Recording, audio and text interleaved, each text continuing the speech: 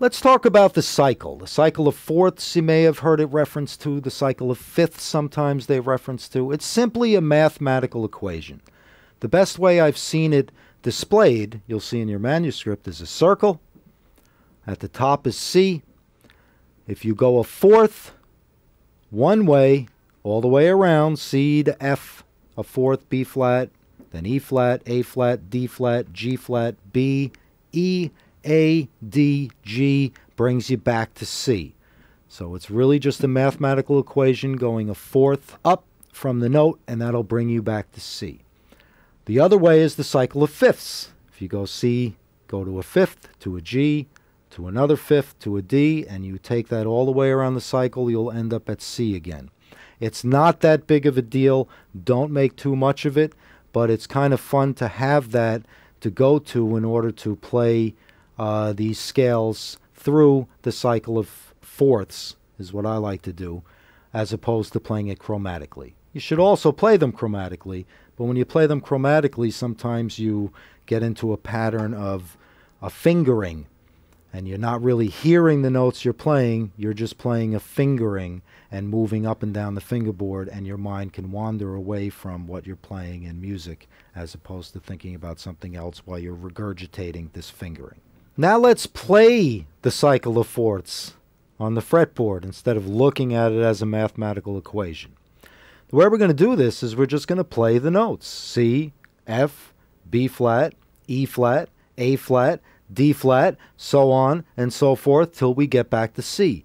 It doesn't matter which C or F you play, it's kind of like note recognition. If you have to look at the sheet to start, that's great, but eventually you should have it so you can just play the notes through the cycle of fourths. So I'll demonstrate starting on C to F to B flat to E flat to A flat to D flat to G flat to B to E to A to D to G to C. That's playing the cycle of fourths. Now you can make a pattern out of it too.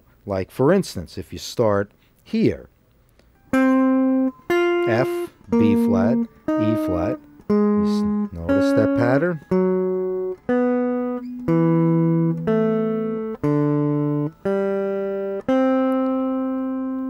But as well as making a pattern, you should just be able to recognize the notes. You could pick any of the notes C to F to B flat to E flat to A flat to D flat to G flat to B to E to A, to D, to G, to C. So again, there's lots of ways to do that.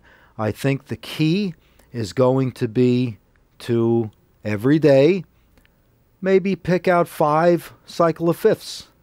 Okay, five different ways to play the cycle of fifths. And just keep doing that every day. It's note recognition. It gets that sound of the fourths into your ear. And again, it's knowledge of the fingerboard.